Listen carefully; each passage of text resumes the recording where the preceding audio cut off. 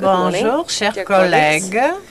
Je suis vraiment uh, très heureuse de pouvoir um, contribuer par une information concernant les sans-emploi de plus de 50, 50 ans qui sont à la recherche de l'emploi. Il est souvent difficile de demander aux gens de demander euh, euh, de, de, quel est leur âge. C'est un peu c'est un peu délicat, mais que ceux qui sont qui ont plus de 50 ans, qui lèvent la main, c'est quand même un bon début de ma présentation. Je vais commencer par vous parler des Pays-Bas.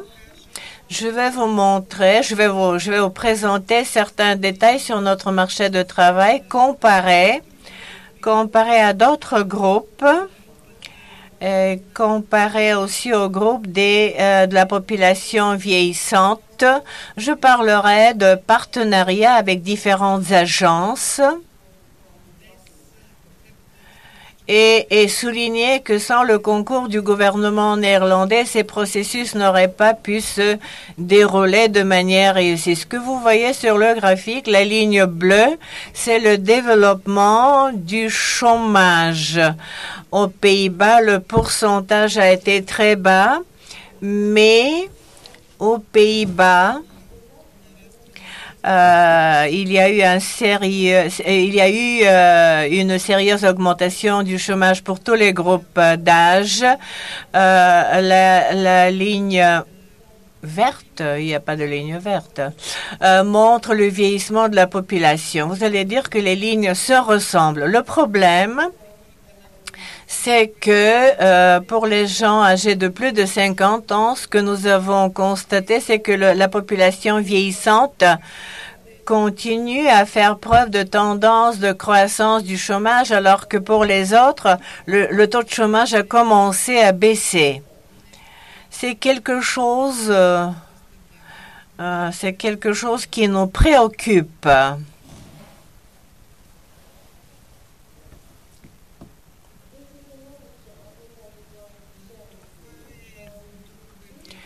C'est un autre diagramme, le camembert, que je voudrais vous montrer. La raison pour laquelle sont arrêtées les allocations de chômage. À, à gauche, vous voyez les raisons pour tous les groupes d'âge à droite pour euh, la population vieillissante, pour les groupes euh, plus âgés. Vous avez en bleu le nombre des gens le nombre des gens qui euh, sont de nouveau recrutés. La, la, la partie rouge montre quelles sont les allocations pour les chômeurs, puisqu'il n'y a plus le droit à recevoir ces allocations. La partie verte, c'est pour euh, d'autres raisons. Vous voyez que pour ce qui est de la population vieillissante, une des raisons pour que ce segment soit plus important, c'est qu'ils prennent leur retraite. Le retour au travail pour tous les groupes représente 94 Ah non, non, non, 49, excusez-moi, 49% euh, pour les âgés entre 27 et 53, 53% Euh, euh, pour les plus âgés, euh, il n'y a que 46 de des sans-emploi. Euh, nous pouvons conclure qu'une fois avoir, pris, avoir, avoir perdu le travail, une personne âgée a beaucoup plus de difficultés à revenir sur le marché de travail. je pense que c'est pareil pour vous, donc il faudra trouver une solution pour les plus âgés.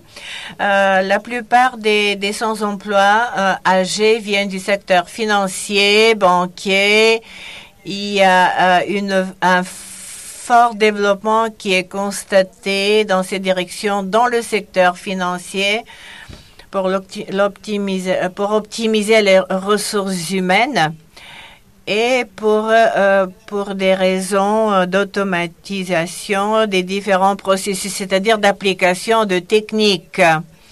Euh, cette information statistique euh, est faite sur quelques années seulement, mais ce qui est intéressant et ce que je voudrais souligner, c'est que euh, une bonne partie des, des personnes âgées qui cherchent, qui cherchent des emplois temporaire constitue un tiers de toutes les personnes qui sont à la recherche d'un nouvel emploi. C'est quand même un, pourcentage assez important. Une bonne partie euh, de, ceux qui étaient à la recherche de l'emploi euh, euh, sont pensés à l'époque que c'est pas sérieux, mais maintenant les choses changent.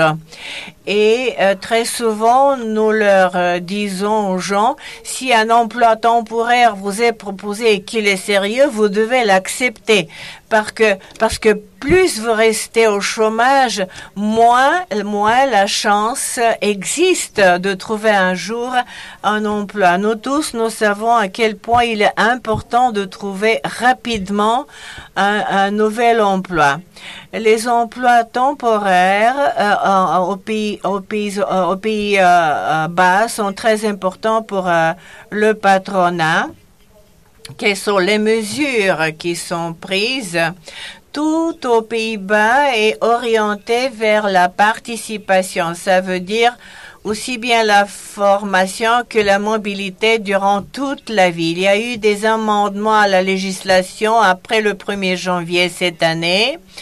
Euh, ce qui fait que si quelqu'un a été a été euh, mis à pied, a été licencié, le patron devait payer une taxe compensatoire de transition, de transfert. Et par exemple, s'il y a eu un contrat au moins pour deux ans, un contrat de travail pour deux ans, cette compensation pourrait être notamment utilisée pour euh, se payer une formation, pour encourager la mobilité entre secteurs, par exemple, parce que dans, certains secteurs, il peut y avoir des possibilités de recrutement, mais pas dans d'autres. Donc, il faudrait qu'il existe des possibilités de, des possibilités de passage d'un secteur à un autre.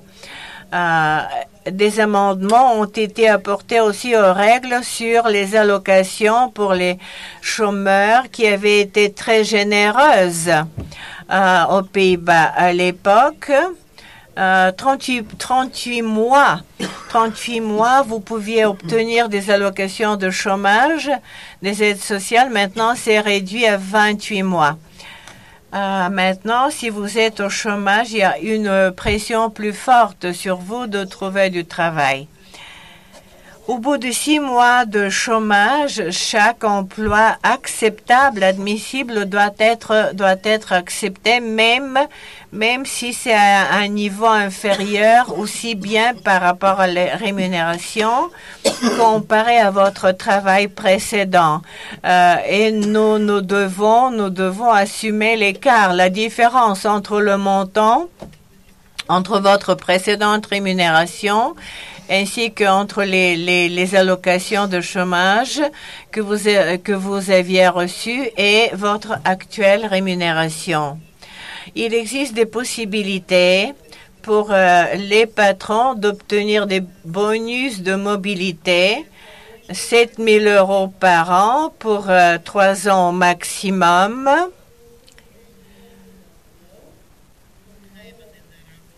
Euh, il y a des périodes d'essai, des recrutements avec des périodes d'essai euh, de sans-emploi qui peuvent euh, qui peuvent être recrutés pour deux mois. Nos, nos services d'emploi continueront à payer à cette personne les, les, aides sociales, les allocations sociales. les personnes qui ont des euh, des, handicaps qui sont des handicaps même partiels. Pendant cinq ans, pendant cinq ans, nous payons le salaire, la rémunération de la personne qui est à la recherche d'un emploi s'il y a un handicap. Euh, le ministère et les partenaires sociaux euh, mettent en place ensemble des plans dont l'objectif est d'investir beaucoup dans la formation, investir dans une formation visant à ce qu'on encourage la mobilité entre secteurs de ceux qui sont à la recherche de l'emploi, ainsi qu'à à la formation, au recyclage des jeunes, surtout pour ceux qui rencontrent des difficultés sur le marché du travail. Notre service de l'emploi public a obtenu euh, des financements supplémentaires destinés aux sans-emploi âgés de plus de 50 ans par lesquels nous devions réaliser, mettre en place des projets euh, pour notamment, euh, euh, pour notamment montrer, prouver l'efficacité de nos, de nos outils. Quels sont les outils que nous utilisons? La première, c'est la formation en réseau de, pour 12 personnes Au bout de trois ans de sans-emploi, les, les, gens qui sont au chômage sont invités à participer dans de pareils programmes.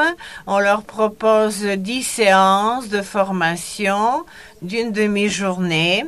Ce que nous faisons, euh, euh, c'est surtout mettre l'accent sur les aptitudes de recherche de travail. Par exemple, aux Pays-Bas, beaucoup de gens trouvent du travail à travers LinkedIn. Nous les aidons notamment à actualiser leur CV, de les, euh, de les afficher sur, dans les réseaux sociaux. Nous essayons de prendre connaissance de leurs capacités et compétences et euh, on, euh, on, on, on, exerce de, de, de, euh, d'essayer différentes pratiques d'aptitude. On, on utilise, on fait appel à beaucoup d'experts puisque nous sommes convaincus que nous devons avoir euh, des experts sur ces groupes de, de, ces groupes d'âge.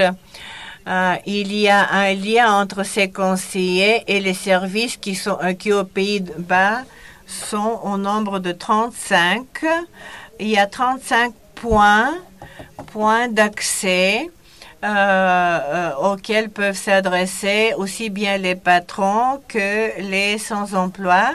Les, les, patrons sont, font l'objet de contacts de tous les participants dans ce processus pour que nous puissions, euh, euh pour que nous puissions euh, avoir une information sur euh, sur les emplois, nous travaillons avec euh, les agences privées de l'emploi également. Que, faisons-nous d'autre pour euh, inspirer les gens? 21 journées pareilles ont été organisées et sont prévues jusqu'à 2016. Ce sont des endroits où les gens peuvent se rencontrer, les demandeurs d'emploi et les employeurs, ceux qui cherchent des employés. C'est en quelque sorte un marché de d'une part, on offre des qualifications, des capacités, d'autre part, sont les personnes qui cherchent ces capacités et qualifications. Bien sûr, il y a des employeurs qui ont le rôle de montrer quels sont leurs succès euh, d'avoir euh, engagé des travailleurs de plus de 50 ans. Comme notre collègue bulgare l'a dit, nous devons euh, offrir des variantes souples pour tous. Et ces employeurs sont également constituent également un,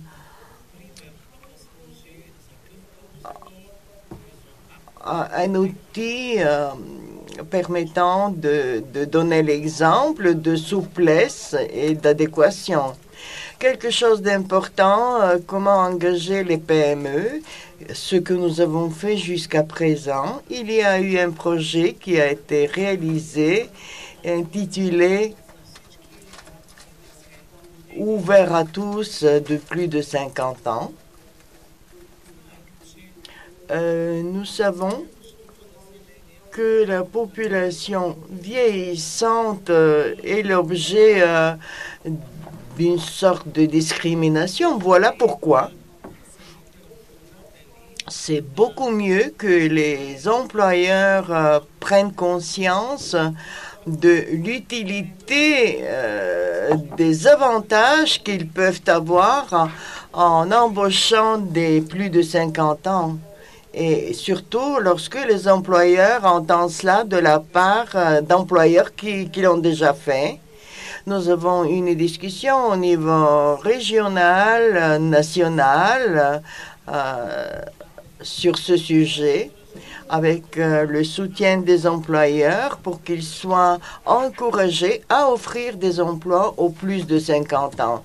Bien sûr, cela signifie un grand engagement, euh, un dévouement à cette cause en élargissant les réseaux de contact et de participants D'autre part, euh, il y a des conférences de presse qui sont, euh, euh, qui sont organisées, des enregistrements vidéo qu'on diffuse. il y a d'autres formes aussi. On a également le système d'ébauché pour la formation. Par exemple, il y a un embauché d'une valeur de 1000 euros, de 1000 euros qu'on peut utiliser en l'espace d'une année pour que la personne concernée euh, puisse euh, passer des, faire des cours et obtenir, par exemple, un permis de conduire.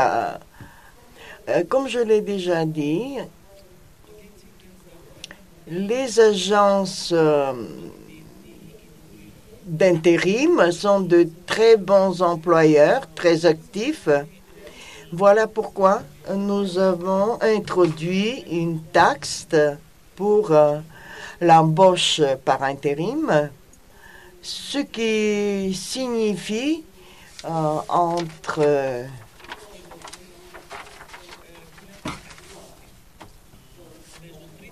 entre 300 et 1500 euros varie euh, le montant de cette taxe pour euh, l'encouragement. Comment procédons-nous au suivi des résultats, des résultats de notre travail? Il y a une commission de surveillance qui a été mise en place, euh, qui comprend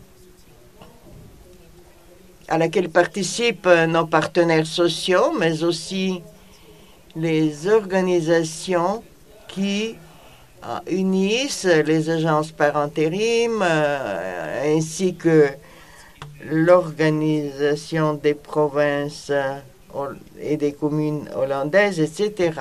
Les résultats de janvier à octobre 2015.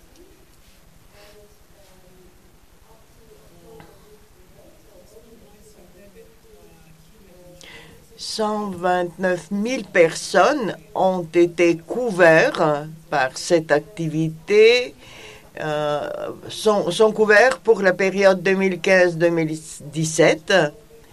Et cette année-ci, comme je l'ai déjà dit, comme nous, avons mis en place ces taxes dont je vous ai parlé, nous avons 6500 personnes euh, qui sont réalisées et pour la période 2015-2017, euh, nous avons des prévisions pour 22 500. En plus,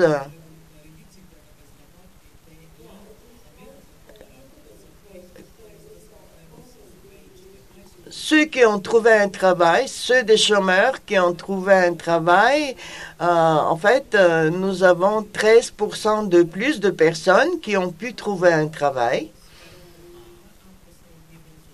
Si on compare euh, les résultats de 2015 à ceux de 2013, on verra que cette augmentation est encore plus grande et cela est dû aux nombreuses politiques qui ont été adoptées et mises en œuvre par le gouvernement. Sur cela, je vous remercie de votre attention.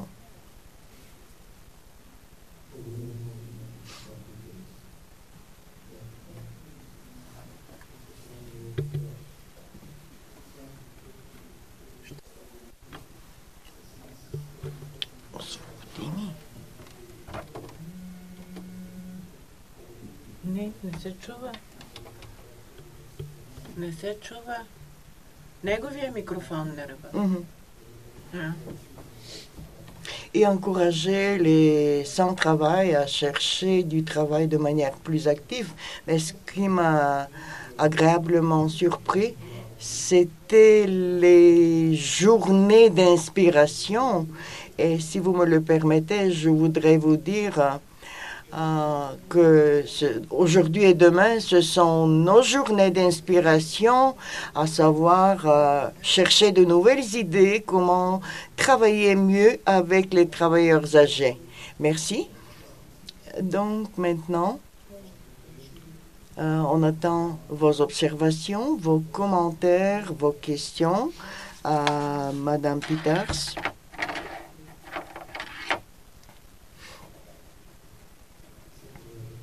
Je vous en prie.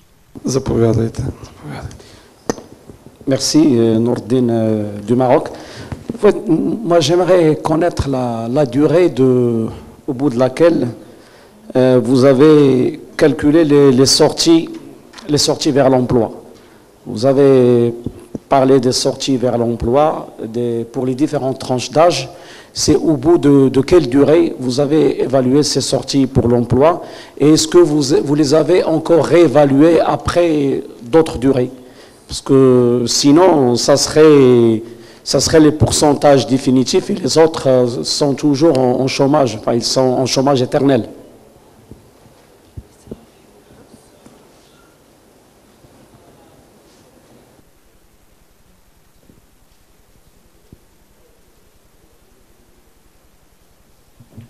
The figures that we have calculated.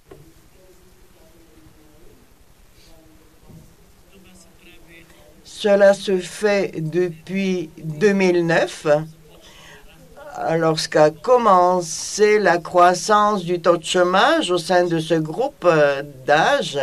Bien sûr, il y a beaucoup d'autres euh, qui sont restés au chômage, surtout ceux euh, ayant des niveaux d'éducation plus bas, ayant moins de d'aptitude.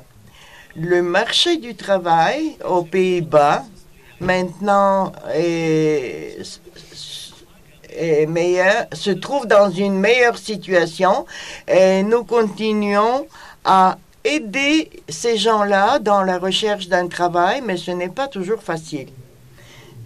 Oui, je vous en prie une autre, euh, en- je vous en prie une autre question là. Ah, c'est Elisabeth. Euh, je suis Elisabeth et je viens de Suède. J'ai une question à Corinne.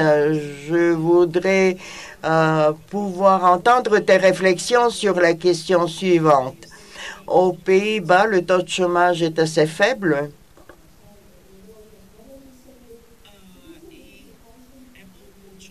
Et c'est un peu étonnant, au moins pour moi.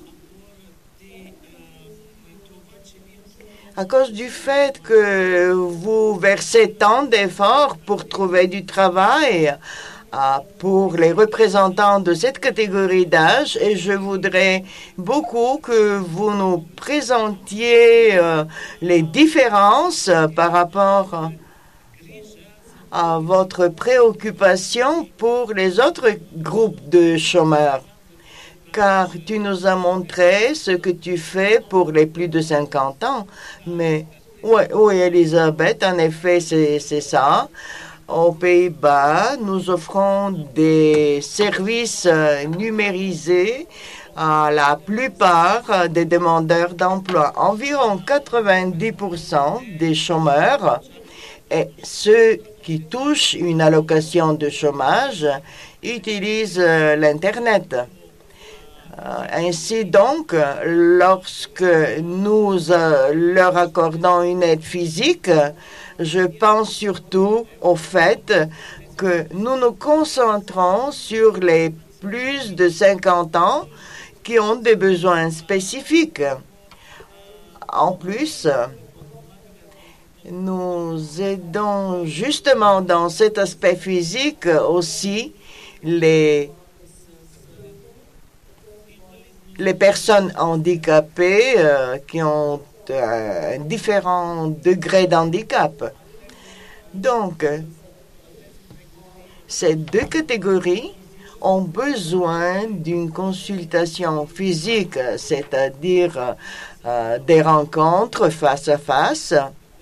Voilà pourquoi nous mettons l'accent sur ces deux groupes, alors que les autres, on peut les aider euh, par voie euh, numérisée, pour ainsi dire. Est-ce que c'est suffisant comme réponse? Elisabeth, oui. Non, je vous en prie. Je viens de la Corée du Sud et j'ai une question concernant ce réseau permettant de trouver du travail, le, réseautage en la matière. Euh, vous commencez à vous occuper des chômeurs après trois mois de chômage, c'est-à-dire après trois de chômage, vous commencez à les aider. Mais il y a d'autres pays, l'on commence l'aide à partir euh, du moment où la personne perd euh, son travail. Bien sûr, euh, il est très important de mettre en place un tel environnement de soutien, mais pourquoi attendez-vous trois mois pour le faire? Oui, en effet, c'est une question très intéressante. Ces trois mois euh, sont expliqués par le budget que nous avons eu ces trois dernières années ah, vous connaissez les mesures d'austérité. Notre budget a été bien réduit. Et euh, voilà pourquoi nous avons dû euh, mettre en place un, outil permettant euh, de profiler. Et nous avons également négocier tout cela avec notre ministère. Et nous avons jugé qu'il serait mieux de se concentrer sur ceux qui ont une forte chance de rester sans travail pendant une période plus longue. Voilà pourquoi on a décidé de leur accorder une aide plus tôt. Pour le moment, nos résultats euh, en la matière sont très bons. Bien sûr, euh, euh, nous, nous apportons des modifications. Par exemple, nous avons des groupes qui, dès le premier jour de leur chômage, on s'occupe d'eux. D'autres commentaires, s'il vous plaît? Oui, euh, je voudrais moi-même poser une question. Peter Nickelbus de Norvège. Et que faites-vous pour les immigrants euh, de la première ou de la deuxième génération aux Pays-Bas, euh, les, gens qui sont venus de vos anciennes colonies, comment travaillez-vous avec ces personnes-là? Merci pour votre question. Nous avons une politique spécifique à leur égard qui... Euh, en fait, nous n'avons pas de politique spécifique, c'est ça que je voulais dire. Tout simplement, nous les intégrons dans tel ou tel autre groupe de chômeurs. Euh, ces groupes dont je vous ai parlé, en effet, un tel programme euh, est très bien développé aux Pays-Bas. C'est un programme d'envergure. Par exemple, il y a des formations pour euh, la, la, mise en réseautage, la mise en réseautage des travailleurs euh, sociaux. Avez-vous des études en rapport avec les, résultats de cette activité? Non, pas tout à fait ça, mais ce que nous faisons depuis le début, c'est de nous focaliser sur les chômeurs qui touchent cette allocation. Par exemple, lorsqu'ils sont âgés et qu'ils ne sauront pas se servir d'Internet euh, ou d'autres services euh, nouveaux, nous leur offrons une autre variante.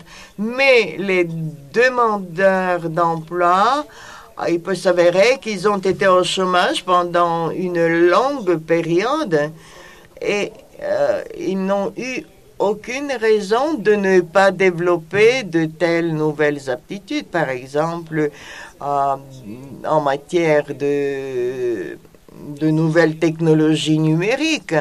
On dit euh, d'habitude que les jeunes sont très bons, mais mon expérience montre juste le contraire. Tout simplement, ce n'est pas vrai.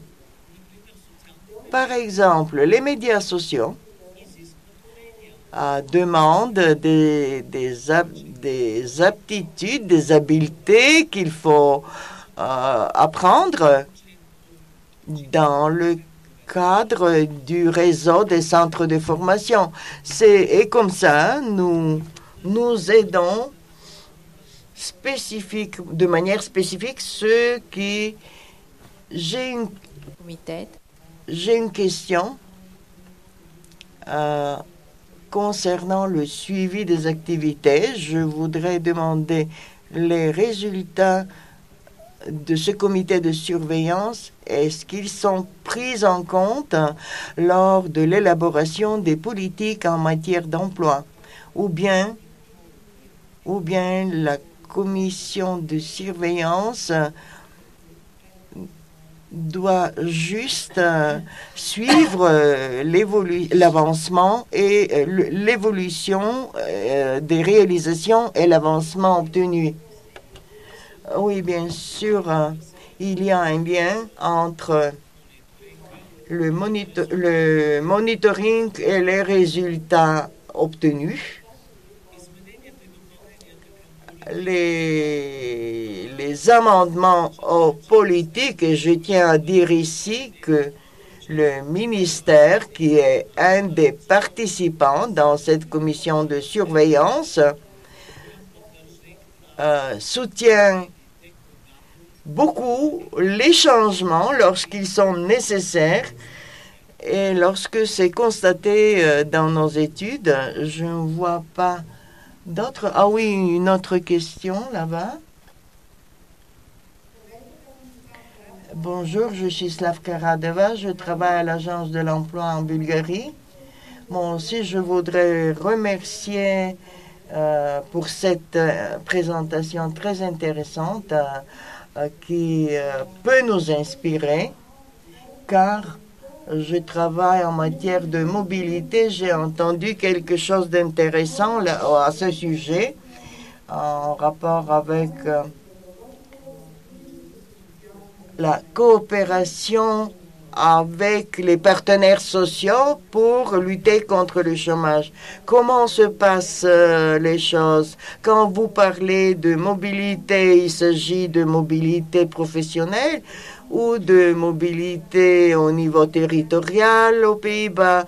Quelles sont les distances, euh, les trajets euh, qui, qui sont euh, subventionnés, pour ainsi dire Merci. Quand je parle de mobilité, je pense à la mobilité professionnelle, c'est-à-dire le passage d'un secteur à un autre tout simplement parce que dans un secteur, il, il se pourrait qu'il n'y ait pas d'emploi disponible, à la différence d'un autre secteur. C'est ça que j'entendais en parlant de mobilité et de l'acquisition d'aptitudes supplémentaires. Et ce bonus que j'ai évoqué, c'est une incitation par l'État, une incitation pour les employeurs euh, pour qu'ils soient encouragés à offrir des emplois aux, aux demandeurs d'emploi dans cette catégorie d'âge. On fait la même chose pour euh, les personnes handicapées. Donc, ce sont plus ou moins les deux groupes qui nécessitent un plus grand soutien. Et nous essayons aussi à encourager les employeurs qui embauchent des, gens de ces deux groupes. Peut-être que c'est spécifique chez nous, mais peut-être dans d'autres pays, il serait mieux d'aider des employeurs qui offrent des, des, emplois aux jeunes. Merci Corinne. Maintenant, on passe à la publication de Suzanne Kratz euh, qui va nous parler des